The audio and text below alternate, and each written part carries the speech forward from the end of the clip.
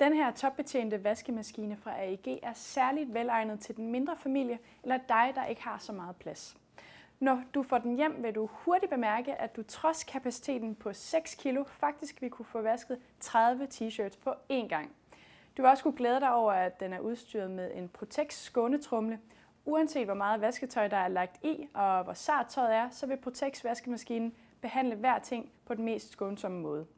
Dens intelligente OptiSense-system tilpasser programmet efter vasketøjets vægt, så dit tøj aldrig bliver overvasket. Den store trumle sikrer, at du får et bedre vaskeresultat, selv med store fyldninger. Den er udstyret med en FlexiDose Plus, som er en unik beholder til vaskemidler med separat rum til flydende vaskemidler og vaskepulver. Så nu kan du glemme alt om blege, pletter eller rester af vaskemiddel på dit tøj. Fuzzy Logic mængdeautomatik vil automatisk tilpasse vandmængden efter det antal kilo, som du har påfyldt maskinen.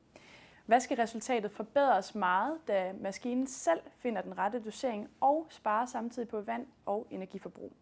Med den her vaskemaskine kan du få bedre styr på din tid, takket være den senere startfunktion.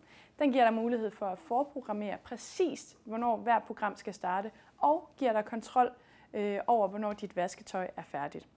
Derfor er det dig, der bestemmer vasketiden, og ikke vaskemaskinen. Den her topbetjente vaskemaskine har en grundigt designet trumle med dæmpet åbning, så du altid kan nå ind i trumlen på en sikker måde. Samtidig undgår du også at få fingrene i klemme med det indbyggede soft-system, der åbner trumlen i en rolig bevægelse. Når den er færdig med at vaske, slipper du også for at skulle have hånden ned i maskinen for at finde åbningen til trumlen. Automatikken sørger for, at åbningen altid er øverst efter endt vask. Og er der noget, du er i tvivl om, så sidder vi naturligvis klar til at hjælpe dig på telefonen.